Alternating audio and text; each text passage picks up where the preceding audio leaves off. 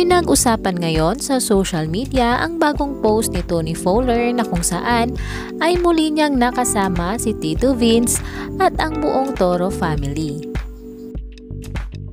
Maraming mga fans ang natuwa sa muling pagbabalik ni Tito Vince bilang miyembro ng Toro family. Kung may mga fans man ang natuwa, ang iba naman ay hindi nagustuhan ang muling pagbabalik ni Tito Vince dahil nga sa mga issue na kinasasangkutan nito kasama si Tony Fowler.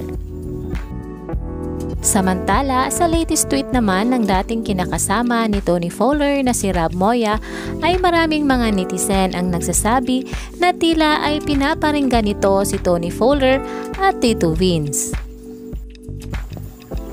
At narito naman ang reaksyon ng mga netizen sa pagbabalik ni Tito Vince sa Toro family.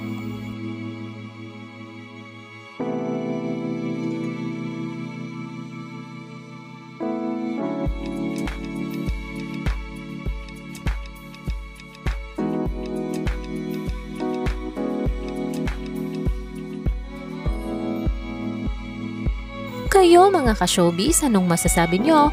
Mag-comment lang kayo sa baba at i-share na ang inyong mga opinion tungkol dito. Hanggang dito na lang. Maraming salamat sa panonood.